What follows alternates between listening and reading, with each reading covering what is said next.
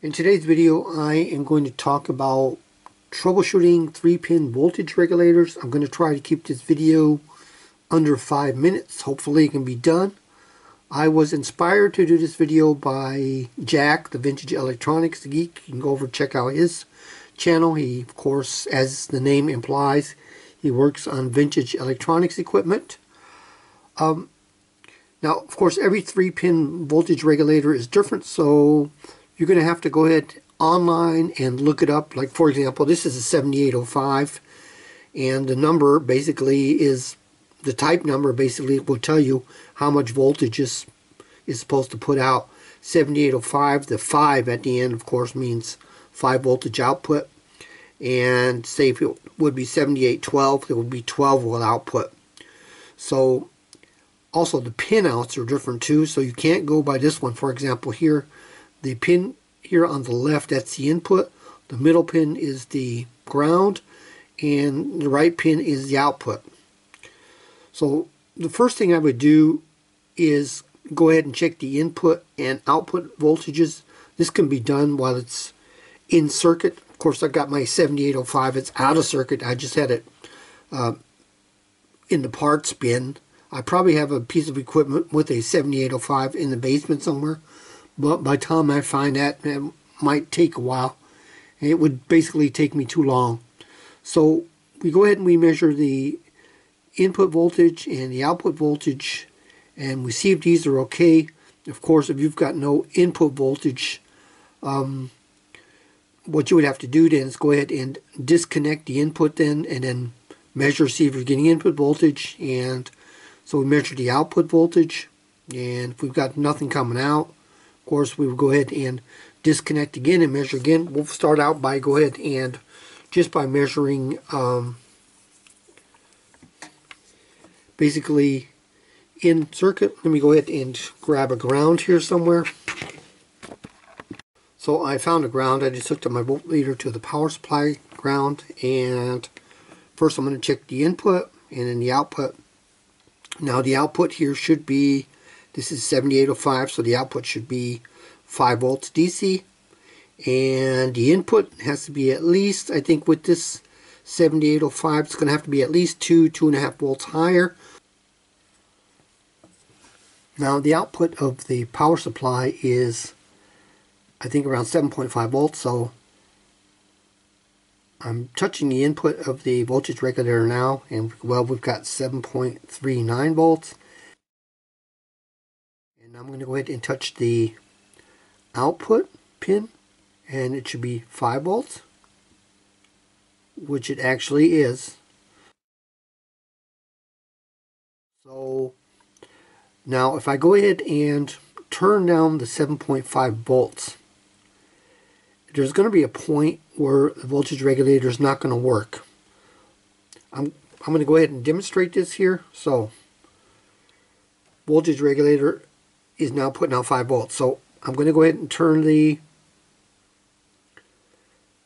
the power supply down. It's about, well, right now it's putting out right under 7 volts, 6.8. 6 volts. See right there? It dropped out. At supposed to hold at 5 volts, and my power supply is putting out 6.8. And right there, it's starting to drop out at about not 6.8 volts.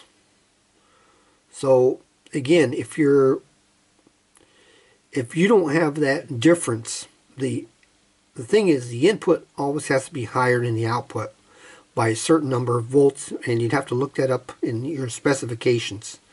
Now so for, for example now if I turn it up to 10 volts, nothing here. I've got the power supply up to 10 volts and my outputs here still stay steady or 11 volts, still 5 volts, right? But once I go be so below that certain threshold, again, see right there I'm at, and then it go ahead, so basically that would be, I think around here, 6.7 volts, that would be basically my 6.7, 6.8 volts, my dropout voltage. That's when basically the voltage regulator drops out. So again, uh, that's got to be checked. If if that if that's not correct, you might never get that voltage regulator to work. So we check the input output, which is basically okay. Now, if the output's not okay, what we'd have to do then, we have to go ahead and disconnect the, what we can do is disconnect the, um, the, basically the circuit that's connected to the voltage regulator, we can go ahead and disconnect that and we can see if the voltage regulator voltage comes back up. Basically what we'll do is we'll go ahead and take, we'll remove the load and if it checks out good then, what we can do is what I'm doing here right now. I'll just go ahead and show that. Now if we look down here, we can see I basically I have a 10 ohm 5 watt resistor. I'm using that as a load. And if I were to measure the voltage regulator and say I had the load disconnected, say I'm working on some kind of a unit and I got to disconnect the voltage regulator tests okay, putting on that's still not enough because it can still break down under a load. So that's why I put this resistor on here now. So with this resistor, we can go ahead and check the we can go ahead and check the voltage. Now you, have to be aware that this resistor here is going to get pretty hot and the voltage regulator is going to get uh, pretty hot too. And, and, what you don't want with these voltage regulators, um, they can only handle so much voltage. I think this one is, I'm not exactly sure. Um, I would have to start the computer up and look at the data sheet again, but I think it's over 30 volts or might be 32, 34, 35 volts or something like that. If you go too high, you probably you're going to end up destroying this thing.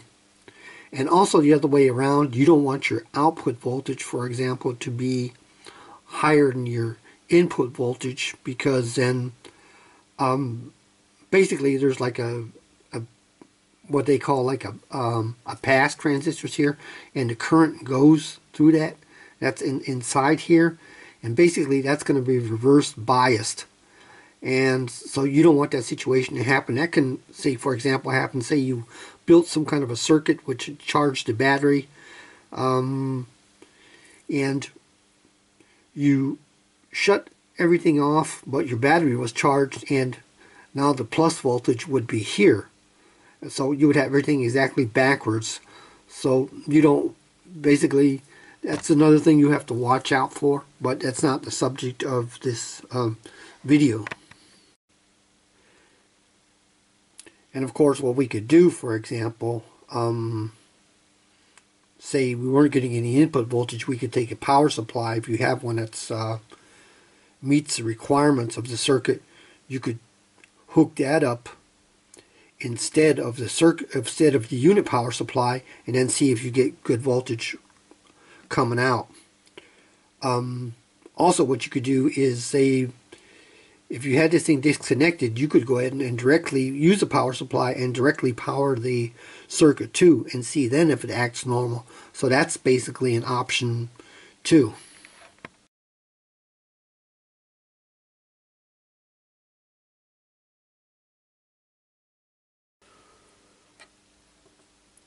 So right now what we're taking a look at is both the input and the output. The input is 7.5 volts and it's drawing 0.5 amperes. The output is 5 volts. And again, I mentioned that this thing has a so-called dropout voltage, which basically means that if this input voltage goes too low, this 5 volts, again, this is a 5 volt regulator, that's going to drop out. So then you're basically your circuit's not going to be working right. So if you make a circuit like this, or say if you're working on a unit and your power supply voltage is not right, if, if there's no difference here, the input's got to be higher than the output. And it depends upon the, the voltage regulator. So you have to go ahead and look up the specs. But if you don't, but if this, if there's no difference, then basically you, you have a problem. I'm going to go ahead and show that one more time. Um, so watch now again. So the this is the regulated output. Once I reach a certain point now, that is going to drop. And there it already went 4.9. That's already that's already off 4.8. So that's about the dropout voltage. Now notice I'm ready. Ta I'm taking it up to 10 volts, and it's still staying steady about uh, right over 5 volts. Or I can let's go up to 15. And we can see here it's st still the same. But going at the other extreme is a problem. I mean, if it drops out, it's not going to destroy the circuit. But say if now if I turn this up to high, if I went up to like over 30 volts, whatever the destructive voltage is, then of course the voltage regulator is going to self-destruct. Now this is just a bare bone circuit just to show that basic troubleshooting. Um, normally this would be mounted on a, you would have a heat sink because these things get really hot. But if they get now, once they reach a certain point in temperature or they get a short circuit, then these things will basically shut themselves off until the um, the short or the high temperature is removed, and then they should work again as normal. So I'm going to go ahead and try that next.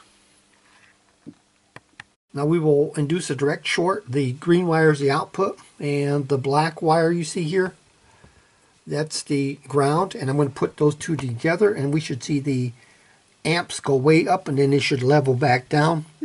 This this um, voltage regulator should still be usable, although it is going to get pretty hot. But I don't have a thermometer function here. Well, I do have one temperature checker within this uh, uh, Fluke, but I'm using it right now for the amperes. So so much for that. Okay, we'll keep an eye on the uh, multimeter there. See how many amperes we got going. There we go. Went up to one almost 1.5 amperes, and it's see it's calming back down. That's a dead short. And it's leveling out at about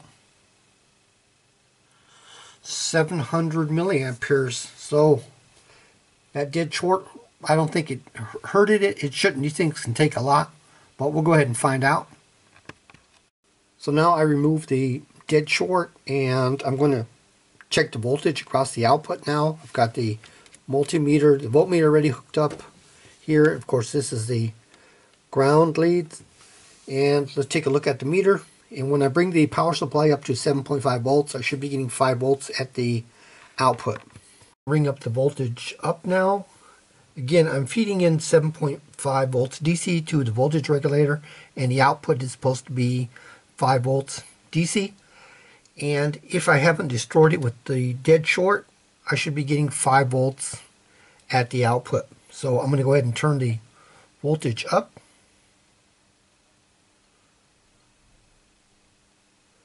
And right now I am, the power supply showing me 7.5 volts DC. And right now we're looking at the output 5.02 volts DC so the um, volt the voltage regulator is actually functioning as it should. The dead short did not hurt it. Of course I could still go further and hook up the load again but I'd venture to say uh, it's still going to be okay so the next thing we're going to do is check out the voltage regulator with an ohm meter and we're going to see if that gives us any useful indicator so to speak. Obviously if there's a short between say the input and output or something like that that'll show up on the ohm meter um, or if you got an open or something like that. I just want to see what's the ohms measurement going to be like? What are we what exactly are we looking at and for this, I made myself a little chart. You see here, the voltage regulator's only got three pins. And here's my positive lead, and here's my negative lead. So I'm going to start out putting the positive lead on the input. And then negative lead is going to be on the ground, then the positive lead on the input again, negative lead is going to be on the output, and so forth until I fill the whole basically chart. And we'll go ahead and, and take a look. And here's my first test, which again is going to be between the input and the ground. My positive lead is on the input, the positive lead of the ohm meters on the input, and negative lead of the ohm meters to ground. And this is what we get. We get a, right over 600,000 ohms, 0.36 mega ohms. So I'm going to write that in my chart. So the next test is between the input and the output. And we'll take a quick look here at the ohm meter. And we basically get almost the same reading. So I marked, put that in my chart. See the chart is taken form. My next test will be the positive on the ground and the negative on the, basically the input. And then I'll just work my way down till I have all readings. Same here. Um, positive lead on ground and the negative lead of the ohm meter is to the input. And almost the same so I'm just going to go ahead and fill out the chart here. There's no sense in me saying this every time. It is kind of boring. Now here's my completed chart and um, generally inconclusive. Of course, if you had like a catastrophic short and you measured really low ohms or something like that, or it'd be some kind of an open, that would show up easily enough. Um, the lowest ohm readings was if I had the positive lead of the multimeter to ground, and I took the negative to the output, which is 4.7K, 4,700 ohms. And also, if I switched the leads around basically, so I had the positive on the output, negative on ground, it was 5.6K. Um, so I would I would guess you could you could use this as part of testing. Unless of course again as I said you had a catastrophic short, then of course that would show up easily um, enough. I once I finished the chart up I tried it with another 7805 from a different manufacturer. Um, I think it's this one right here and the the basically the readings were about the same. Um, for example, this one here might be two point some k instead of four point seven, but between the pins, it'll, it'll tell you, okay, here I got high. Here I'm supposed to expect high readings. If, for example, I put the input to the ground or the input to the output, I get high readings, um, even though, let's say, it might be off by 100k or so. But in general, if I would measure this now here, if I would take this voltage regulator and if I measured here between the ground and the output here, I should get low ohms too. And if I took those leads and switched them around, same thing. I'm going to go ahead and just try that real quick just to show. So I'm going to put the positive lead ohm meter onto the ground and the minus is going to the output. And here I've got low ohm reading, just like with the other uh, voltage regulator. It, it would be the exact same type, but a different manufacturer. You see it's, it's off, I think just like a over 2K difference, but basically it's the same. And if I reverse the leads now, I've got the minus lead of the meter on the ground, and I'm going to put the positive lead to the output, and we got about the same thing. So that goes to show, I mean, there are certain patterns there. So I think this brings this video to a conclusion. I could keep going on. I could use a diode transistor function of a multimeter. I could use a curve tracer on this voltage regulator. I could use a my component checker. Um, but that would make another 20 minute video and um, I'm not sure if I'm going to make a part two because it is kind of uh, tedious. I realize to watch this. I've, I've, I've, I wanted this video to be only five minutes long, but that never seems to work out. I can never get all the info in in five minutes, so I'm sorry about that. Anyways, thanks for watching.